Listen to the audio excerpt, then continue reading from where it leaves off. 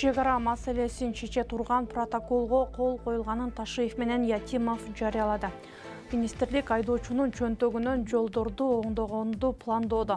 Өлкөдө күйүүчү майдын тартыштыгы жаралышы мүмкүн алдыда кеп кылабыз саламатсызбы? Баткен шаарында кыргыз тажик мамлекеттик чек арасын делимитациялоо жана демаркациялоо боюнча өкмөттүк делегациялардын кезектеги биргелешкен жыйыны өттү. Бул тууралуу министрлер кабинетинен маалымдашты. Кыргызстандын делегациясын улуттук коопсуздук боюнча мамлекеттик комитеттин төрагасы камчыбек ташиев жетектесе ал эми тажикстандын делегациясын тажикстандын улуттук коопсуздук боюнча мамлекеттик комитетинин төрагасы саймумин ятимов жетектеди. Жолугушууда биргелешкен жыйындын жыйынтыгы боюнча протоколго кол коюлганы маалым болду бирок протоколдун мазмуну тууралуу маалымат бериле элек эки өлкөнүн укмк башчылары жолугушуу тууралуу биргелешкен билдирүү жасашты. В данный протокол был подписан согласованно с двух сторон и дает нам основание решать все приграничные вопросы.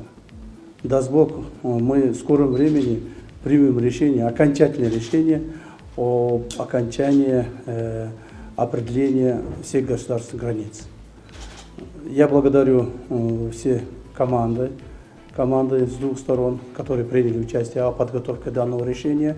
Кроме того, мы приняли э, решение о том, что наш, наша комиссия, Госкомиссия по делимитации и демаркации, будет работать непрерывно, непрерывно, постоянно и в скором времени окончательно принять все решения. Даст бог те решения которые мы сейчас сегодня подписали дают нам основания что на границе будет спокойно стабильно и наши народы вечно будут жить в дружбе и согласии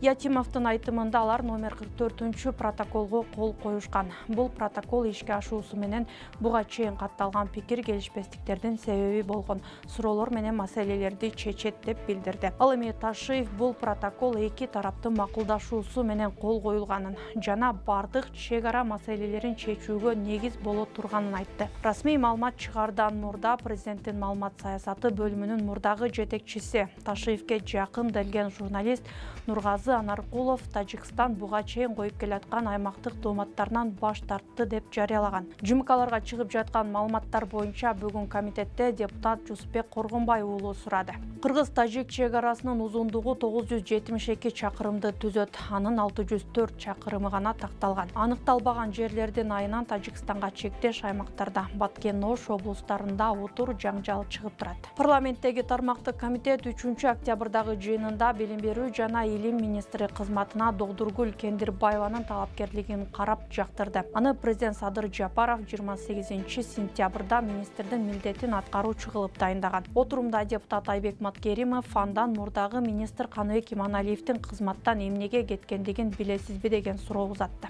биз буга чейинки министр эмне себептен кеткенин билесизби мен эме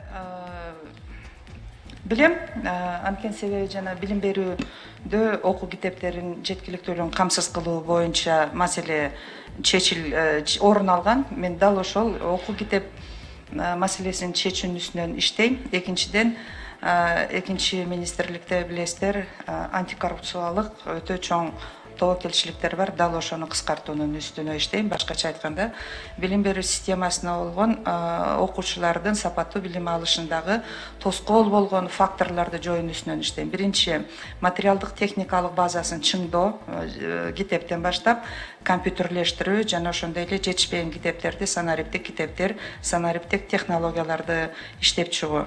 Экинчиден бул э, толугу менен мугалимдердин билим берүү сапатын жакшыртуу боюнча жаңы билим берүү мыйзамы кабыл алынган мугалимдерди ваучердик системаны жогорулатуу болуп киргизүү болуп эсептелинет үчүнчүсү э, башталгыч кенже курактагы балдарды ал эми депутат камила талиева жаңы дайындалып жаткан министрди фани аттуу сери кардинал менен байланышпоого чакырды мына медициналык факультеттер боюнча сурайын деп атам да биздин кыргыз мамлекетинде бүгүнкү күнү ар кайсы окуу жайында медтаг ачылып атат бул эми бизнес деп атабыз инвестиция келсин деп атабыз макул жакшы жактарын а бизде бир фани деген бир э, мындай бир э, көмүскөдөгү ушул билим берүүнү кайтарган дейбизби же серый кардинал дейбизби бир фани деген образ бар экен жаран бар бул бул ушул жөнүндө маалыматыңыз барбы сиз ал фани менен жолуктуңузбу кандай иштешесиз жолуксаңыз айтып бериңичи фани фани көп министрлердин түбүнө жетип атат фани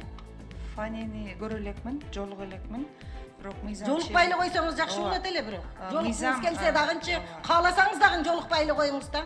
Белгилей кетсек жогорку кеңештин депутаты сөз кылып жаткан чет элдик жаран фани ал өлкөдөгү медицина багытындагы жогорку окуу жайларга индиядан студенттерди кабыл алып келгендердин бири. Журналисттер анын чет элдик студенттерди кыргызстанга окууга алып келип бизнес жасай турганын аныкташкан. Эске салсак жетинчи сентябрда милдетин аткара албаганы үчүн деген жүйө менен билим берүү министри каныбек иманалиев кызматтан алынган. Ал арада транспорт министрлиги жолдорду оңдоо жана тейлөө үчүн айдоочуларга төлөм киргизүүнү пландап жатат. Сунуш боюнча төлөм айдоочунун май куючу жайдагы ар бир литр куюучу майынан алынат. Бул ким көп айдаса ал көбүрөөк төлөйт деген принцип боюнча иштейт. Мындан тышкары дөңгөлөктөрдү майлоочу майларды жана башка майларды өндүрүүчүлөрдөн жана импорттоочулардан дагы өзүнчө төлөм алуу каралууда. Транспорт министрлиги жол салыгын киргизүү белгилүү бир социалдык чыңалууга алып келиши мүмкүн экенин мойнуна алат. Бирок департамент мындай зарылчылдык тууралуу элге кеңири түшүндүрүү иштерин жүргүзгөн айтууда. Сиз арча медианын жаңылыктар чыгарылышын көрүп жатасыз. Биздин youtube каналыбызга катталыңыз. Бизди next tv телеканалынан көрүп жатсаңыз экрандагы qr код аркылуу катталсаңыз болот.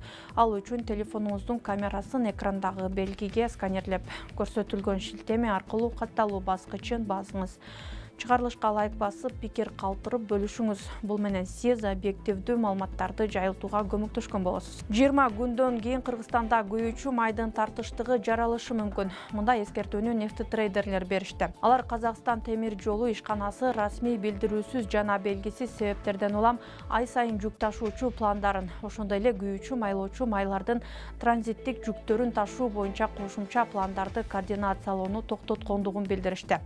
Октябрь айына жарыяланган пландардын дээрлик бардыгы казак уюму тарабынан четке кагылды нефтетрейдерлер маселени өкмөттүк деңгээлде чечилишин күтүп жатышат мунай ташуучу жергиликтүү компаниялар кыргыз темир жол ишканасы менен бирге бул көйгөйдү чечүүгө аракет кылып жатат бирок бүгүнкү күндө октябрь айы үчүн коюлган пландар казакстан темир жол тарабынан четке кагылып жатат күйүүчү майды казакстандын аймагы аркылуу алып өтүүдөгү бул көйгөй жыйырма күндөн кийин кыргызстанда май таңкыстыгын жаратышы мүмкүн бул тууралуу мамлекеттик мекемелер комментарий бере элек кыргызстан жылына орточо эсеп менен бир миллион үч жүз миң тоннадан бир миллион беш жүз миң тоннага чейин күйүүчү май керек дейт. Коомдо узактан бери талаш жаратып келе жаткан чет элдик өкүл жөнүндө мыйзам долбоору жогорку кеңештин укук тартиби кылмыштуулук жана коррупцияга каршы аракеттенүү боюнча комитетинин үчүнчү октябрдагы күн тартибинде кайрадан киргизилип каралып баштады. Аталган мыйзам долбоору ушул эле комитетте расмий түрдө он тогузунчу сентябрда биринчи окууга киргизилген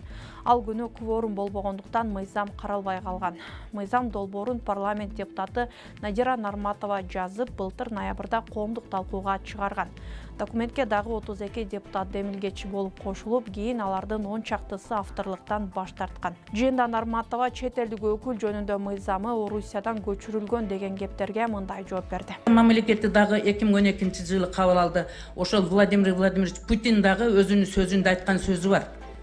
Биз американын алкагында ушул американын мисалында биз кабыл алууга мажбурбуз. Себеби америка дагы өзүндө алып тартипти орнотуп мамлекеттик көзөмөлдү жасап атат ошондуктан биз эмне үчүн киргизбейбиз деген сөзү бар.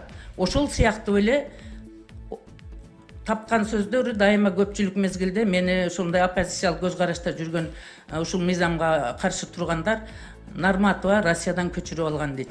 Бул нарматова россиядан көчүрүп алган жери жок жашоонун принциптери сөздөр бүт баардыгы дүйнө жүзүндө бир эле сөз менен жазылат. Сөздөр окшош жашоонун принциптери да окшош. Ошондуктан бул жерден мен э, мыйзамдын келип тарыхы боюнча ушуну айткым келет эл аралык уюмдар жана жарандык коом аталган мыйзам кыргызстандын баш мыйзамына жана адам укуктарын бекемдеген негизги демократиялык принциптерге каршы келерин айтып келишет бишкек шаардык санитардык эпидемиологиялык көзөмөл борбору соңку эки күндө отуз жети тест татым жайын текшерип алардын онун убактылуу жапты. Аныкталган кемчиликтерге байланыштуу жалпысынан отуз алты протокол толтурулуп беш жүз сексен сегиз миң сом айып пул салынды саламаттыкты сактоо министри алымкадыр бейшеналиев бишкекте тамак ашка жапырт ууланган окуядан улам шаардагы тест татым түйүндөрүн жапырт текшерүүнү тапшырган. Соңку маалыматтарга ылайык шаардагы тест татым түйүндөрүндө шаурмадан улангандардын саны жетимиш бир адамга жетти саламаттыкты сактоо министрлигинин басма сөз кызматы ооруканага отуз алты адам жаткырылганын. Алардын арасында он жаштан он төрт жашка чейинки беш бала бар экенин билдирди. Эскерте кетсек чүй жана сүйүнбаев көчөлөрүнүн кесилишиндеги беш лаваш жана мидос тест татым жайларынан тамактангандар жапырт ууланышкан бул жайларга жетимиш эки миң сом айып пул салынып убактылуу жабылган. Берүүнү ушундай кабарлар менен жыйынтыктайм. Күнүңүз ийгиликтүү улансын